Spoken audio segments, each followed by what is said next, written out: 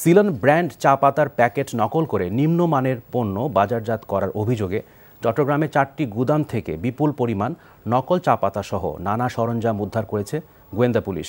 এ সময় চক্রটির তিন সদস্যকে আটক করা হয়। দুপুরে চট্টগ্রামের চান্দগাঁও কাপ্তাই রাস্তার কয়েকটি এলাকায় অভিযান চালিয়ে এসব নকল পণ্যসহ নানা সরঞ্জাম উদ্ধার করা হয়। গোয়েন্দা পুলিশ জানায় চক্রটি দীর্ঘদিন ধরে চট্টগ্রামের কয়েকটি এলাকায় আবুল খায়ের গ্রুপের সিলন ব্র্যান্ড চা পাতার প্যাকেট হুবহু নকল করে সেভরন নাম দিয়ে বিক্রি করে আসছিল।